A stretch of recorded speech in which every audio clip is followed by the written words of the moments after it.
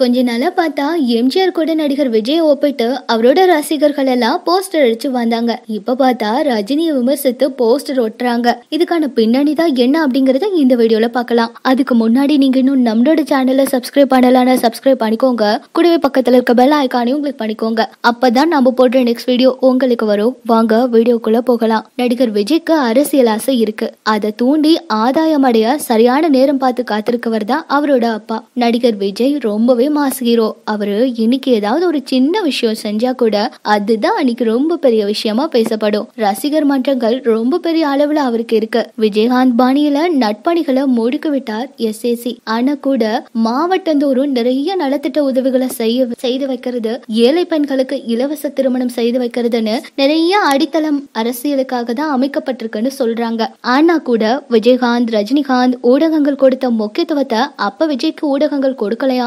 இதனால ஊடகங்களை சந்திச்சு ஐந்து நிமிடங்கள் கூட சேர்ந்தது போல விஜயால பேச முடியாதாம் இதுவரைக்கும் நடிகர் விஜய் பிரஸ் மீட் அப்படின்னு எதுவுமே வச்சது கிடையாதான் பண மதிப்பிழப்பு நடவடிக்கை அப்ப கூட செய்தியாளர்களை சந்திக்க அழைப்பு விடுத்தாங்களாம் அப்ப கூட செய்தியாளர்களுக்கு ஒரு நிபந்தனை கொடுத்தாங்களாம் அது என்னன்னா விஜய் கிட்ட ஒரு கேள்வியும் கேட்க கூடாது அப்படிங்கிறது தான் இப்படி வினோதமான அரசியல் பாதைகளை பயணிக்கிற காரணத்தால தான் இன்னைக்கு பல்வேறு சிக்கல்கள்ல விஜய் சிக்க ஆரம்பிச்சிருக்காரு அப்படின்னு சொல்றாங்க. ரெண்டாயிரத்தி ஆறுல இருந்து ரெண்டாயிரத்தி பதினொன்னு திமுக ஆட்சி காலத்துல கூட விஜய் நிறைய நலத்திட்ட பதவிகளை தீவிரமா செஞ்சு வந்திருக்காரு. இதை தொடர்ந்து தான் ஸ்டாலின் தரப்பு இதை விரும்பாம விஜய் போற இடங்களுக்கெல்லாம் விரட்டி விரட்டி அடிச்சாங்களாம். அதனாலதான் விஜய் ரசிகர்களுக்கு ரொம்பவே கோவம் வந்து அதிமுகவுக்கு வெளிப்படையாவே பிரச்சாரம் செஞ்சாங்களாம். ஆனா ஜெயலலிதா ஆட்சியில இவங்களுக்கு வந்து பார்த்தா விஜயோட படம் எதுவுமே ரிலீஸ் ஆக முடியாத நிலை உருவாச்சா இந்த நிலையில தான் அப்போதைய பாஜக பிரம பாஜக பிரதமர் வேட்பாளர் மோடிய கோவை வந்தபோது அவரை சந்திச்சு ரெண்டாயிரத்தி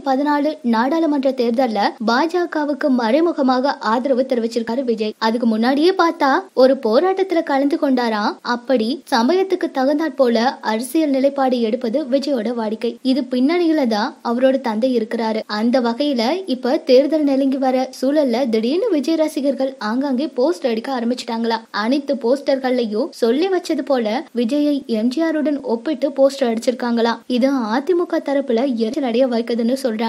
விஜய் ரசிகர்கள் இந்த செயலுக்கு அதிமுக தரப்புல இருந்து ரொம்பவே கடும் பதிலடி வந்துட்டு இருக்கான் அது மட்டும் இல்லாம இது ரொம்பவே எல்லாரும் எதிர்பார்த்துட்டு இருக்காங்களாம் தேர்தல் சமயத்துல விஜயோட மோதி அவருக்கு விளம்பரம் செய்ய வேண்டாம் அப்படின்னு அதிமுகவினர் ஒதுங்கி செல்ல அறிவுறுத்தப்படுதான் இந்நிலையில தான் மதுரையில நடிகர் விஜய் ரசிகர்கள் ரொம்பவே பிரம்மாண்டமா போஸ்டர் அடிச்சிருக்காங்க. அதுல ரஜினி மோகன்லால் உள்ளிட்ட நாலு நடிகர்களின் புகைப்படங்களை வெளியிட்டு நான்கு மாநிலங்களில் நீங்கள் வேண்டுமானால் சூப்பர் ஸ்டாரா? ஆனால் அந்த நான்கு மாநிலங்களிலும் வாத்தியார் எங்கள் அண்ணன் தான் அப்படின்னு குறிப்பிட்டிருக்காங்களா? இது ரஜினி ரசிகர்களையும் ரொம்பவே கொதிக்க வச்சிருக்குன்னு தான் சொல்லணும். எவ்வளவு துணிச்சல் இருந்தா ரஜினியோட புகைப்படத்தை வெளியிட்டு அவரை விஜயோட ஒப்பிட்டிருப்பாங்க அப்படின்னு அவங்க ரொம்பவே கொந்தளிச்சு போயிட்டாங்களா? இப்படி விஜய் ரசிகர்கள் திடீர்னு போஸ்டர் அடிச்சு ஒட்டுறதுக்கு என்னதான் காரணம் அப்படின்னு விசாரிச்சப்பதான் சில தகவல்கள் கிடைச்சா அதுபடி விஜய் ரசிகர்கள் இது போன்ற போஸ்டர்கள் அடிக்க வேண்டாம் அப்படின்னு சொன்னா கூட தலைமையின் அனுமதியை பெற வேண்டும். மேலும் சர்ச்சைக்குரிய வாசகங்கள் இருந்தால் தலைமைக்கு ஒரு சாம்பிள் அனுப்பி ஓகே பெற்றவுடன் ஒட்டணும் அப்படின்னு சொல்லியிருக்காங்க. அப்படி இருக்கையில விஜய் ரசிகர்கள் இது மாதிரி போஸ்டர்களை தலைமையின் அனுமதியின்றி ஒட்டி இருக்க முடியாது. அப்படின்னா எதுக்காக இது போன்ற போஸ்டர்களை விஜய் ரசிகர் மன்ற தலைமையில அனுமதிக்கிறாங்க அப்படிங்கிற ஒரு கேள்வி எழுந்திருக்கு. அடுத்த ஆண்டு வர இந்த சட்டப்பேரவை தேர்தல் வரப்போகுது. இந்த நிலையில இவங்க இப்படி ஒரு போஸ்டர் அடிச்சு ஒட்டியிருக்காங்க. அதனால இதுல அவங்க என்னதான் சொல்ல வராங்க அப்படின்னு எல்லாரும் யோசிச்சுட்டு இருக்காங்க. அது மட்டும் இல்லாம திமுக ஆதரவு நிலைப்பாடு எடுக்க உள்ளதா அப்படின்னு யோசிக்கிறாங்க. இதுக்காக திமுகவோட மேலிடத்தோட சில உடன்பாடுகள் செய்ய உள்ளதாகவும் சொல்றாங்க. அந்த ரகசிய உடன்பாட்டின்படி விஜய் நடிகர் ரஜினி அரசியலுக்கு வந்தால் திமுகவுக்கு ஆதரவா சில விஷயங்களை செய்ய வேண்டும் அப்படின்னு சொல்லப்படுறதா சொல்லியிருக்காங்க. ரஜினி எந்த நேரத்திலையும் அரசியலுக்கு வரலாம் அப்படிங்கிற நிலையில தான் அவரோட ரசிகர்களுக்கு எதிராக விஜய் ரசிகர்கள் எஸ்ஏசி தற்போது முதலில் தூண்டி விட்டுள்ளதாக பேச்சு அடிபடுது. எப்படியோ எதுவா இருந்தாலும் நல்லதா நடந்தா சரி. இந்த வீடியோ உங்களுக்கு பிடிச்சிருந்தா லைக் பண்ணுங்க. யூஸ்ஃபுல்லா இருந்தா உங்க ஃப்ரெண்ட்ஸ்க்கும் ஷேர் பண்ணுங்க. இதே மாதிரி தொடர்ந்து உங்களுக்கு வீடியோஸ் வேணும்னா நம்மளோட ஃபர்ஸ்ட் ஜங்ஷன் சேனலை சப்ஸ்கிரைப் பண்ணிக்கோங்க.